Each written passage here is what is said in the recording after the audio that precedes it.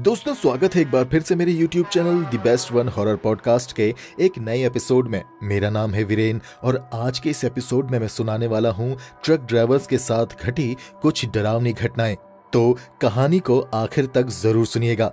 और अगर आप चैनल में नए हैं तो चैनल को याद से सब्सक्राइब कर लीजिएगा। चलिए कहानी शुरू करते हैं। ये बात साल 2007 की है। मैं एक मिनी ट्रक लेकर दिल्ली से रामनगर जा रहा था। जून का महीना था। रात के वक्त भी बड़ी गर्मी हो रही थी। इसलिए मैंने अपनी गाड़ी के दोनों तरफ़ की खिड़कियों के कांच नीचे किए हुए थे। सड़क के दोनों तरफ़ जंगल था। रात का एक बज रहा था। सड़क सुनसान थी। उसमें मेरे अलावा दूसरी कोई गाड़ी नहीं थी। मैं काफ़ी देर से गाड़ी चला रहा था। और गाड़ी चलाते चलाते अब मुझे नींद सी आ रही थी। पर मुझे कैसे भी करके सुबह चार बजे तक रामनगर पहुँचना ही था। जब मेरी गाड़ी बीच जंगल में थी, तब मुझे ज़ोर का पेशाब आया तो मैंने बीच जंगल में अपनी गाड़ी रोकी और गाड़ी से नीचे उतरकर मैं सड़क के किनारे हल्का होने लगा।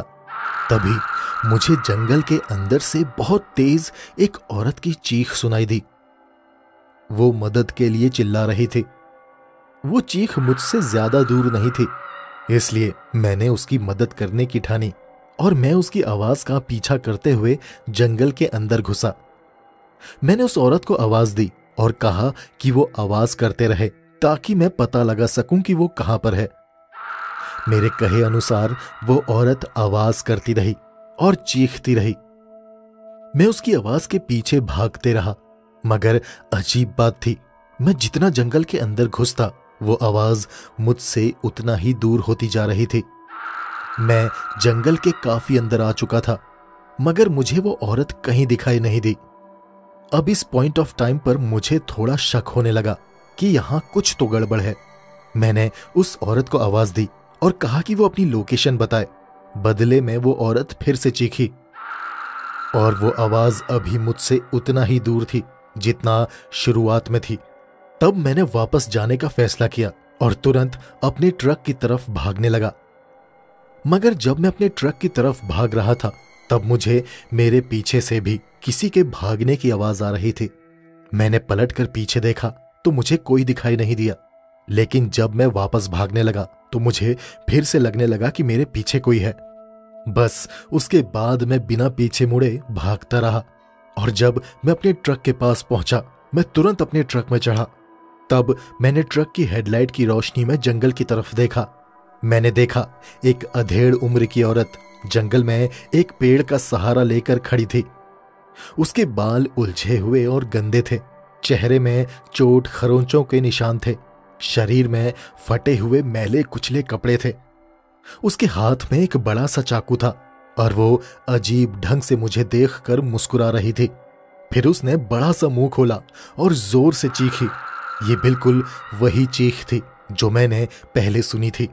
बस इससे पहले कि वो भागते हुए मेरे ट्रक की तरफ़ आती, मैंने पूरी रफ्तार से अपने ट्रक को वहाँ से भगा लिया। मैंने बैक व्यू मिरर में पीछे देखा, वो औरत अभी भी सड़क के किनारे खड़ी थी, उसके बाद वो बिजली की गति से जंगल में भाग गई। उस इलाके से बाहर निकलकर मैंने राहत की सांस ली। अब तक मुझे समझ आ चुका था कि वो कोई नॉर्मल बूढ़ी औरत नहीं थी। वो ज़रूर कोई चुड़ैल थी।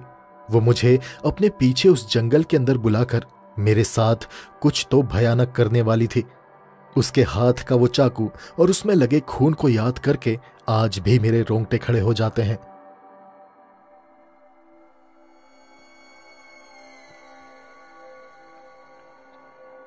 वैसे तो आपने कई ट्रक ड्राइवर्स की कहानियाँ सुनी होंगी। कुछ कहानियाँ आपको सच्ची लगती होंगी, कुछ झूठी। मगर जो मेरे साथ घटा, उसके बारे में मैं खुद भी यकीन नहीं कर पाता कि वो मेरे साथ सच में घटा था। पहले मैं भी भूत प्रेतों पर यकीन नहीं करता था, लेकिन अब समझ आता है कि बड़े बुज़ुर्ग क्यों कहा करते थे कि जब खुद पे गुजरती है, तभी समझ आता है। मेरा नाम हरिया है। नाम से मैं किसान लग रहा हूँगा लेकिन मैं एक ट्रक ड्राइवर हूँ।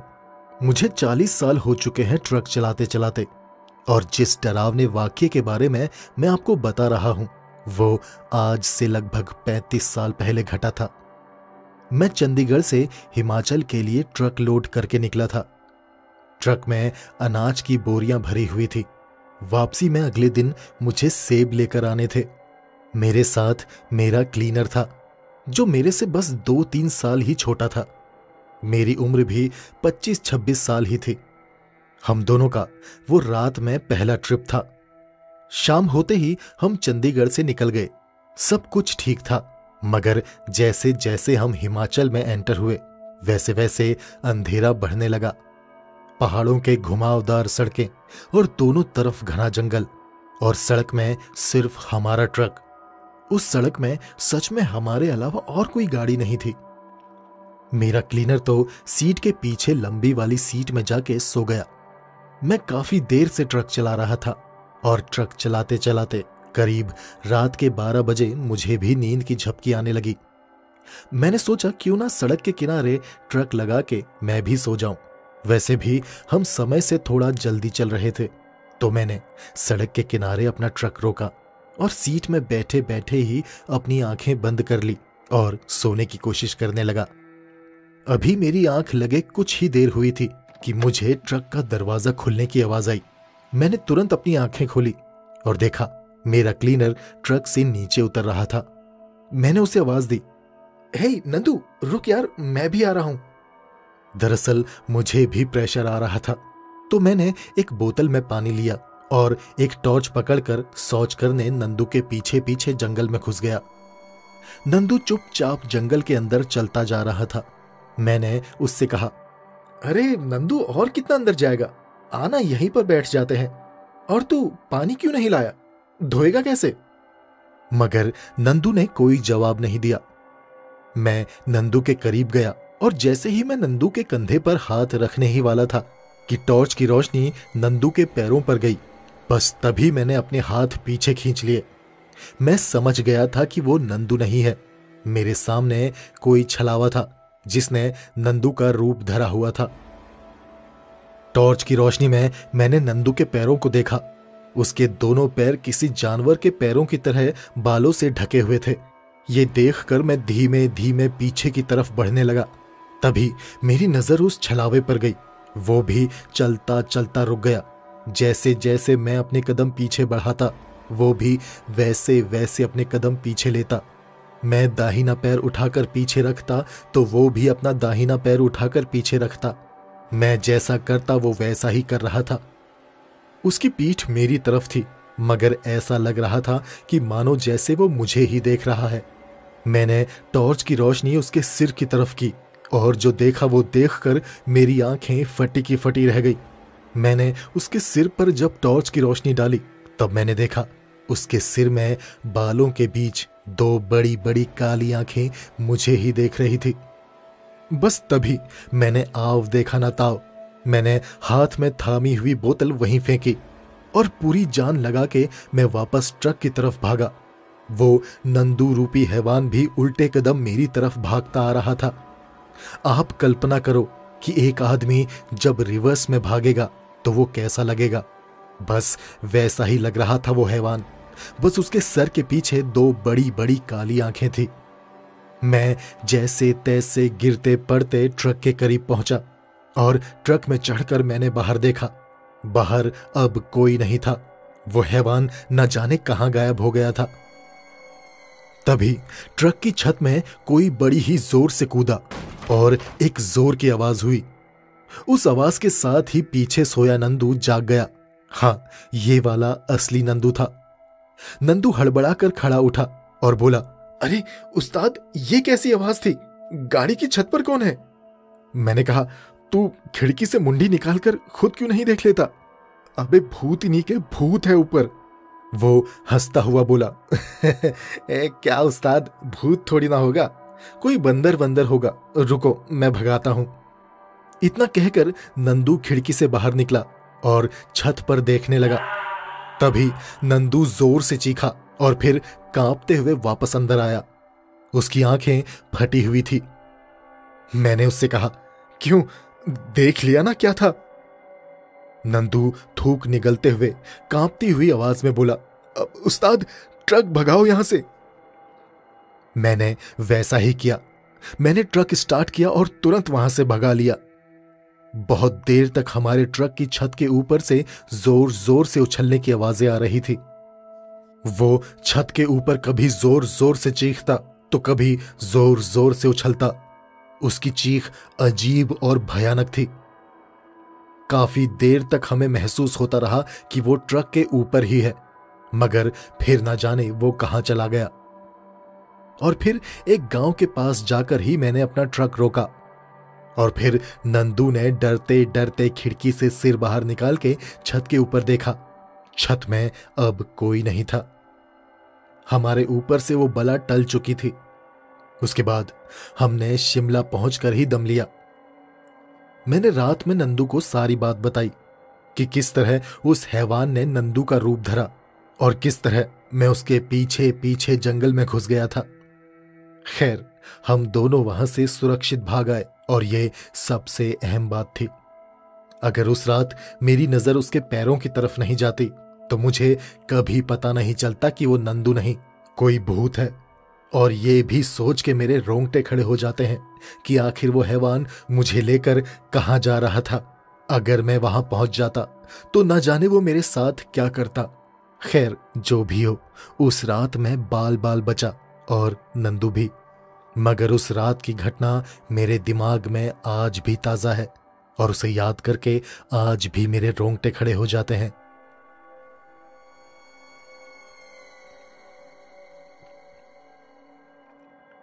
मेरा नाम रमेश है। मुझे सब रामू कह के बुलाते हैं। मैं एक ट्रक ड्राइवर हूँ। वैसे तो हर ट्रक ड्राइवर के साथ कोई ना कोई भूतिया घटना घटती ही है, क्योंकि वो ट्रक ड्राइवर्स अक्सर रात में जो सफ़र करते हैं।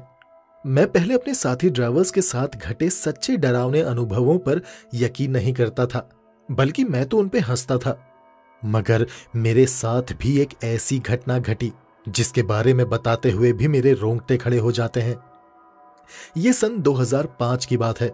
गर्मियों के दिन थे। एक रात मैं उत्तराखंड के हल्द्वानी शहर से एक घर का फर्नीचर और बाकी सामान लोड करके हरिद्वार जा रहा था। किसी बैंक मैनेजर का ट्रांसफ़र हुआ था। और मेरे ट्रक में उसी के घर का सामान था।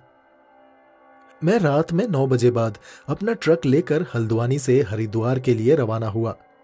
हल्द्वानी से हरिद्वार का करीब 225 किलोमीटर का रन था और फिर मुझे वापस भी आना था। इसलिए मैं जितना तेज हो सके उतना तेज ट्रक चला रहा था। मैनेजर साहब अपनी पत्नी और एक छोटी बच्ची को लेकर पहले ही अपनी कार से जा चुके थे। रात के 12 बजे तक मैंने काशीपुर क्रॉस कर लिया और उसके बाद का सफ़र सुनसान था। इस रूट में रात के वक्त ज़्यादा गाड़ियाँ नहीं थी। इसलिए मैं उस सड़क में धीमे धीमे चल रहा था। वैसे तो हमेशा मेरे साथ एक क्लीनर रहता था, मगर उस दिन से एक दिन पहले उसके घर में किसी की मौत हो गई थी तो वो अपने गाँव चला गया था। मेरा ट्रक उस सुनसान हाईवे में दौड़ रहा था। वो एक जंगल वाला इलाका था अगर उस जगह में मेरी गाड़ी में कोई खराबी आ जाए और ट्रक रुक जाए तो मैं अकेला वहाँ नहीं रुक सकता था। वो इलाका इतना डरावना था। चारों तरफ़ अंधेरा था। आसपास ना ही कोई बाज़ार थी, ना ही कोई गाँव। उस सुनसान सड़क में चलते हुए मुझे एक मंदिर दिखा। मैंने उस मंदिर के आगे माथा टेका और मेरा डर थोड़ा कम हुआ। मैं उस मंदिर से अभी थोड़ी ही दूर आगे पहुँचा था। कि सड़क के किनारे मुझे एक आदमी खड़ा दिखा। वो किसी गाड़ी के इंतज़ार में लग रहा था। वो कोई मुसाफिर था। मेरे ट्रक को आता देखकर उसने हाथ दिया। मैंने सोचा, शायद उसे लिफ्ट चाहिए होगी, और अभी इस वक्त उसे कोई दूसरी गाड़ी भी नहीं मिलने वाली, इसलिए मैंने अपना ट्रक रोका। वो मुसाफिर ट्रक की खिड़की के पास आकर मुझसे बोला भाई जी मुझे हरिद्वार जाना है। क्या आप मुझे वहाँ तक ले चलोगे? मैंने भी कहा, हाँ, आ जाओ, बैठ जाओ। वो मुसाफिर ट्रक में चढ़ा।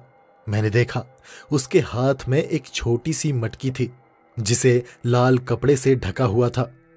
उसे देखते ही मैं समझ गया था कि वो अस्थियों वाली मटकी है।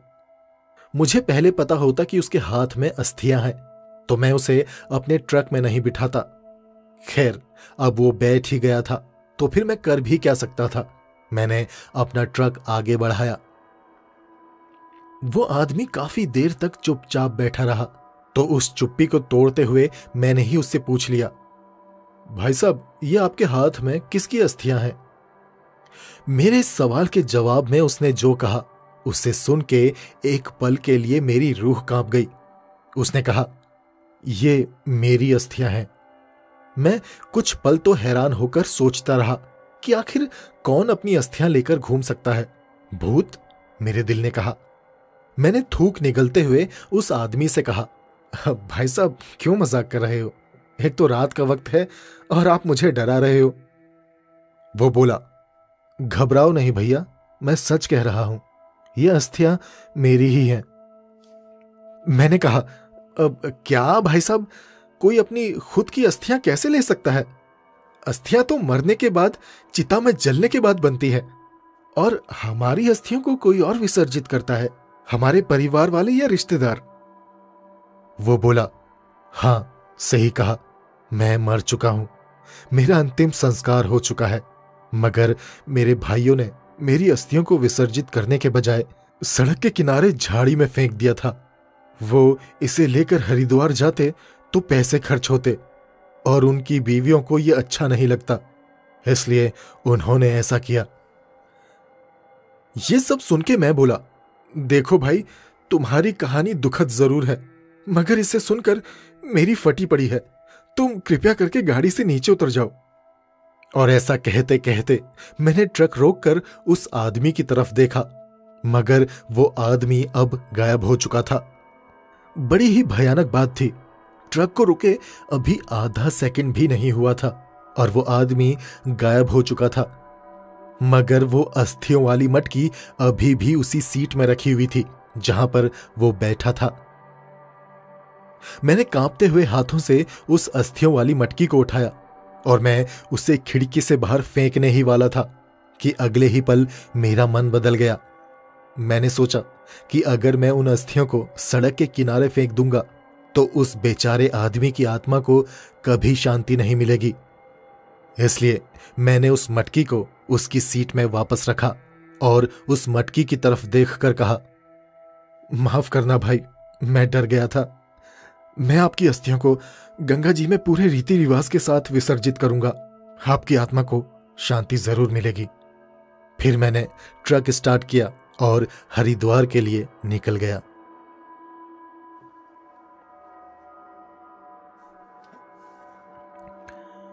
ये कहानी सच्ची घटना से प्रेरित है।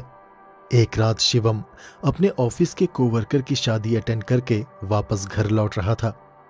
वो अपनी कार में अकेला सफ़र कर रहा था। उसके हाथ में एक बियर बॉटल थी, जिसके घूट वो बीच बीच में मार रहा था। रात का एक बज रहा था और जिस सड़क में वो था, वो एक सुनसान सड़क थी। सड़क के एक तरफ़ एक बड़ी नदी थी और दूसरी तरफ़ एक घना जंगल। चारों तरफ़ अंधेरा था। बस सड़क शिवम की कार की हेडलाइट की रोशनी में साफ़ नज़र आ रही थी और उसी सड़क में दूर एक कार सड़क के किनारे खड़ी थी। शिवम की कार उस कार के नज़दीक पहुँची तो शिवम ने देखा, एक औरत उस कार का बोनट खोल के कुछ तो चेक कर रही थी। शिवम की कार को नज़दीक आता देखकर वो औरत सड़क में आकर शिवम की कार को हाथ देने लगी। शिवम ने पहले तो अपनी बियर की बोतल छुपाई और फिर अपनी कार उस औरत के पास जाकर रोकी। वो औरत शिवम की कार की खिड़की के पास आई और बोली, सर, मेरी कार खराब हो गई है। क्या आप मुझे आगे तक छोड़ देंगे? आगे एक पेट्रोल पंप है, मैं वहाँ से मदद ले लूँगी। आप बस मुझे वहीं पेट्रोल पंप तक छोड़ दीजिए। शिवम ने उस औरत की कार को अच्छे से देखा। वो एक ब्लैक मर्सिडीज कार थी, जिसके शीशे भी काले थे। वो औरत भी अच्छे खासे घर की नज़र आ रही थी। उस औरत को लगा कि शिवम उसे लिफ्ट देने में घबरा रहा है तो वो शिवम से बोली, ऐसे किसी अनजान जगह में किसी अजनबी को लिफ्ट देने में शायद आप घबरा रहे हैं। अगर आपके फ़ोन में नेटवर्क है तो प्लीज़ तो मेरे लिए एक फ़ोन ही कर दीजिए। एक्चुअली मेरे फ़ोन में नेटवर्क नहीं है, वरना मैं खुद ही मदद के लिए किसी को बुला लेती। शिवम को मालूम था कि जंगल के उस इलाके में नेटवर्क नहीं मिलते। इसलिए उसने उस औरत से कहा, अरे नहीं, आप आ जाइए, बैठिए। वो औरत शिवम की बगल वाली सीट में आकर बैठ गई। उसने शिवम से कहा, हाय, मेरा नाम मोनिका है। शिवम ने कार आगे बढ़ाते हुए कहा, हेलो, मेरा नाम शिवम है। वैसे आप इस वक्त कहाँ से आ रही हैं? मोनिका ने बताया कि वो माधवपुर से आ रही है और आगे किशनगंज को जा रही थी कि रास्ते में उसकी गाड़ी खराब हो गई। फिर मोनिका ने शिवम से पूछा, वैसे आप इतनी रात को कहाँ से आ रहे हैं? शिवम ने कहा, दोस्त की शादी से। तभी शिवम ने सामने से एक पुलिस की कार को बड़ी ही तेज़ी से आते हुए देखा। फिर वो कार शिवम की विपरीत दिशा में चली गई और उसी कार के पीछे एक एंबुलेंस भी थी, जो बड़ी ही तेज़ी से पुलिस की कार के पीछे पीछे चली गई। वो औरत बोली, लगता है कहीं कोई एक्सीडेंट हुआ है। इस सड़क में एक्सीडेंट्स होते रहते हैं। शिवम ने कहा, नहीं, इतने भी एक्सीडेंट्स नहीं होते। मैं रोज इसी सड़क से आता जाता हूँ। मेरे ख्याल से, पिछले एक साल से अब तक तो यहाँ कोई एक्सीडेंट नहीं हुआ, जिसमें एंबुलेंस या पुलिस की ज़रूरत पड़े। अब हाँ एक साल पहले ज़रूर एक एक्सीडेंट हुआ था। उसमें सवार एक औरत और उसकी बेटी उसमें मारे गए थे। बहुत बुरा एक्सीडेंट था। वो औरत बोली हाँ एक साल हो गया है उस एक्सीडेंट को। आज ही के दिन मारे गए थे दोनों माँ बेटी। शिवम ने हैरानी से उस औरत की तरफ़ देखा। वो औरत शिवम की तरफ़ देखकर मुस्कुराई, फिर उसने सामने मिरर की तरफ़ देखा। शिवम ने भी मिरर में देखा और जो देखा, वो देखकर उसकी आँखें डर के मारे फटी की फटी रह गई। उसने मिरर में पीछे बैठी एक छोटी बच्ची को देखा, जिसका चेहरा कुचला हुआ था। और उसकी फ्रॉक खून से लथपथ थी। फिर शिवम ने वापस अपने बगल में बैठी हुई उस औरत की तरफ़ देखा। उस औरत का चेहरा भी बुरी तरह से कुचला हुआ था। बस तभी शिवम की आँखों के सामने एक साल पहले की घटना चलने लगी। एक साल पहले, आज ही के दिन शिवम एक पार्टी से आ रहा था। उसने बहुत शराब पी रखी थी। जब वो इसी सड़क से गुजर रहा था तभी उसे सामने सड़क में एक औरत अपनी बेटी के साथ खड़ी दिखाई दी। वो औरत मदद के लिए शिवम को हाथ दे रही थी। शिवम ने उनकी मदद के लिए कार रोकनी चाहिए मगर उससे कार संभाली नहीं गई और शिवम ने अपनी गाड़ी सीधा उन दोनों माँ बेटी के ऊपर चढ़ा दी। उसके बाद शिवम शराब के नशे में लड़खड़ाते हुए अपनी कार से नीचे उतरा और उन दोनों माँ बेटियों के पास गया। वो दोनों माँ बेटी सड़क में बुरी तरह से तड़प रही थी।